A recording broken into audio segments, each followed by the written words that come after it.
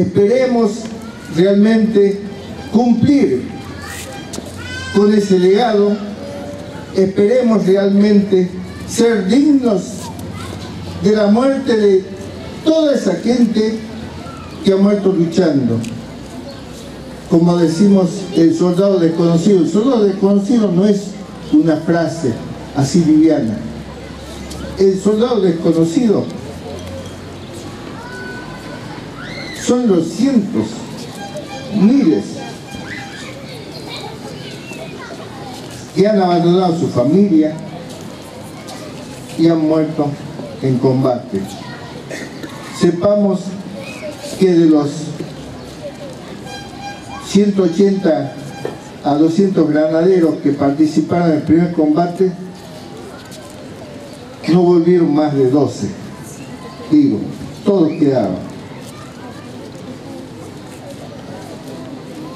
Sepamos que los hombres que acompañaron a Güemes, todos eran pastajeros, todos tenían, eran pequeños ganaderos, y él hizo justicia, no los dejó porque los terratenientes le cobraban impuestos de todo, no los dejó que paguen impuestos a partir de su gobierno. Entonces como político también, desde el punto de vista de los derechos sociales, le daba certificado a la familia de que ese jefe de familia había muerto para que reclamen a la patria las indemnizaciones correspondientes para poder vivir.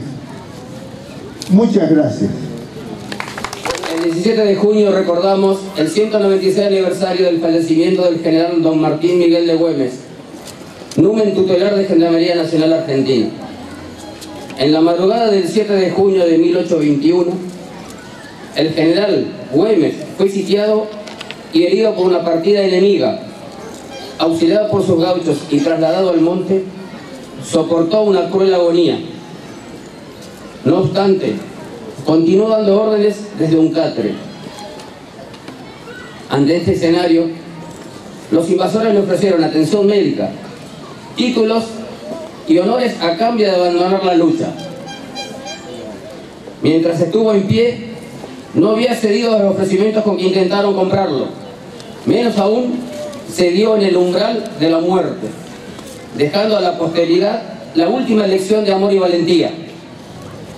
Dos días antes de morir, hizo jurar al coronel Jorge Enrique Pitt su segundo al mando, expresándole, júreme usted sobre el puño de esta espada, ya mismo y delante de estos señores, que cuando yo muera seguirá la lucha mientras haya un enemigo de la patria y un salteño dispuesto a dar la vida por la libertad. Al morir se consagró para la posteridad como el único general argentino muerto en acción de guerra.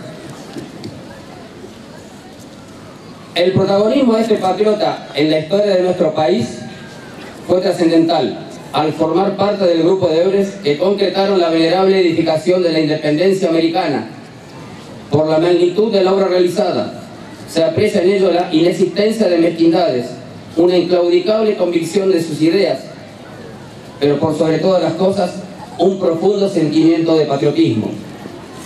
Sus convicciones, su preocupación por el futuro de todo el pueblo, el desprecio al materialismo, su amor a la patria y al prójimo que lo conforman son fuentes de inspiración que deben ser honradas a lo largo del tiempo pero también nos debe hacer reflexionar para nutrirnos de ellas y tratar de ser cada día mejores ciudadanos y por ende buenos funcionarios públicos.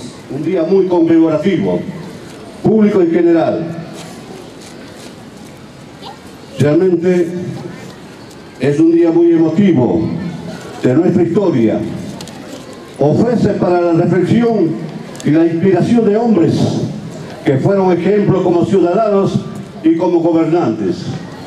El general Martín Miguel de Güemes es sin duda el hombre que aún nos conmueve por sus convicciones, su entrega, su valor y su visión estratégica de una patria libre y soberana, su compromiso con el pueblo y su, y su afán por lograr la igualdad y la equidad, su lucha, que no supo de, de claudicaciones, su ejército de gauchos llenos de sueño y valentía, su compromiso total con la causa más justa, la independencia, la independencia y la libertad de todos los argentinos.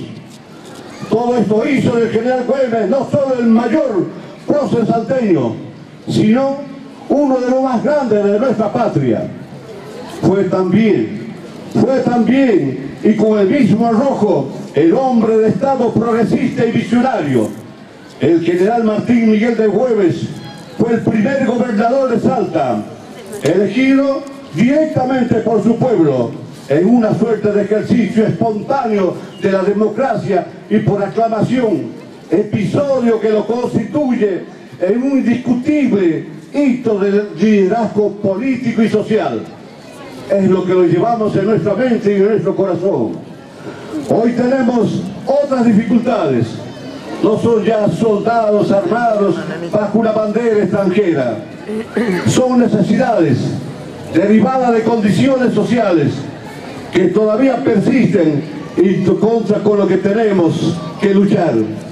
Siguiendo el ejemplo de Güemes, sin respiro, con valentía y con convicciones, debemos construir una sociedad con equidad y oportunidades para todos.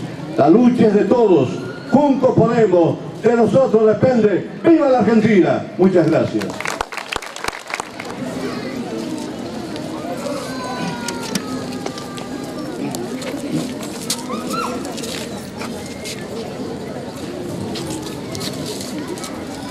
Padre salteño, por la espada herida, huyendo, desangrándote en esa oscura noche, cuando luchaste por tu vida, apagándose tu llama y pasando a la inmortalidad, plasmado en las páginas de la historia.